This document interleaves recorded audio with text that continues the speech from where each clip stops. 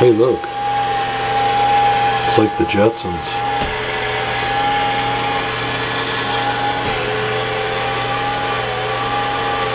Get busy, Rosie.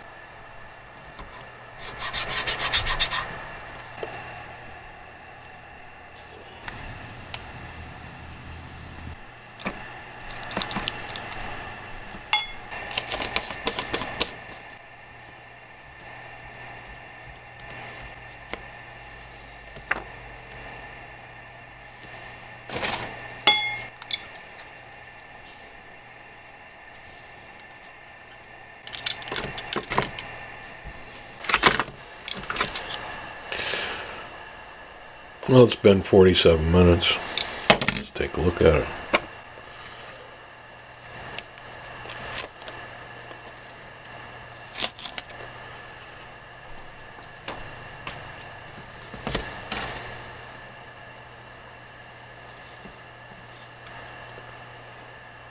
Looks very boxy. I like it.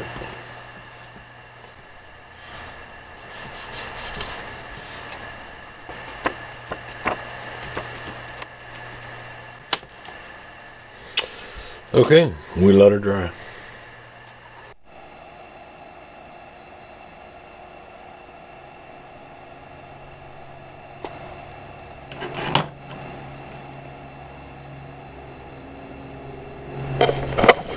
So there it is. That's how you use a stencil to make your own custom paint job. Hey, I hope you enjoyed this uh, video.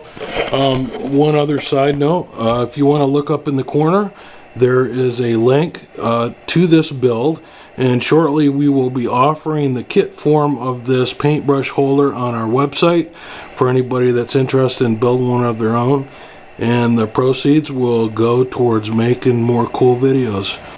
I hope you enjoyed this video. Please thumbs up, tell your friends, uh, comment, rate, and subscribe. It all helps us out. So thanks for watching, and we'll see you next time. Hey guys, this is Steve. Thanks for watching. Hey, don't forget to subscribe if you like this video, and be sure to rate and comment. See ya.